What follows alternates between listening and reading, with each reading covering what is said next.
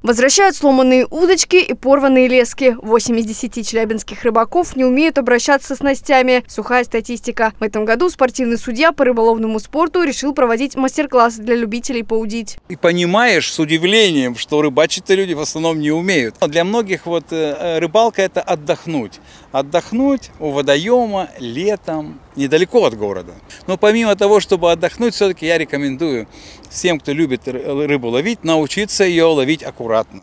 Многие не знают и простые хитрости в рыбалке на воде. Например, не обязательно постоянно закидывать леску, чтобы привести улов домой. Профессионалы всегда следуют четкой инструкции.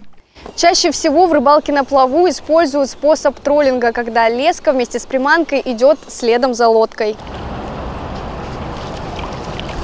Так и клюет быстрее, да и поймать рыбу можно гораздо крупнее, чем с берега. На карьере профессионалы объясняют, как вязать узлы на крючках и случайно не порвать леску. Здесь мы создали условия, где человек может отточить навыки восьми типов рыбалки. И даже зимнюю рыбалку, и подводную рыбалку он здесь может научиться. Для рыбаков-энтузиастов проводят целый курс по ловле щук и судака. После занятий новички могут поучаствовать в спортивных соревнованиях. Ксения Шитлина, Сергей Лейник, 31 канал.